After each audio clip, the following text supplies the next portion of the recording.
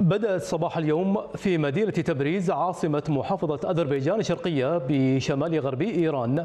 مراسم تشييع الرئيس إبراهيم رئيسي ومسؤولين آخرين بعد مقتلهم في حادث سقوط المروحية. يأتي ذلك في الوقت الذي انتخب فيه مجلس خبراء القيادة محمد علي موحدي كرماني رئيسا للمجلس بأغلبية 55 صوتا. إيران تتشح بالسواد مع بدء مراسم تشييع جثامين الرئيس الإيراني إبراهيم رئيسي ومرافقيه وأبرزهم وزير الخارجية حسين أمير عبد اللهيان في مدينة تبريز. عاصمة محافظة أذربيجان الشرقية بشمال غربي إيران بعد أن لقوا حتفهم في حادث تحطم المروحية.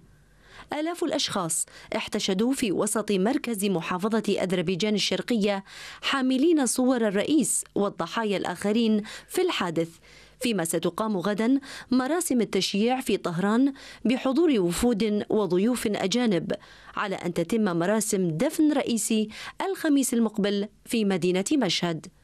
في غضون ذلك تم الإعلان عن انتخاب محمد علي موحدي كرماني رئيسا لمجلس خبراء القيادة بأغلبية 55 صوتا.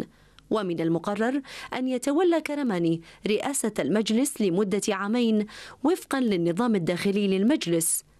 انتخاب كرماني. جاء في افتتاح جلسة لمجلس خبراء القيادة بحضور الرئيس المؤقت للبلاد محمد مخبر ومسؤولين آخرين ضمن دورته السادسة.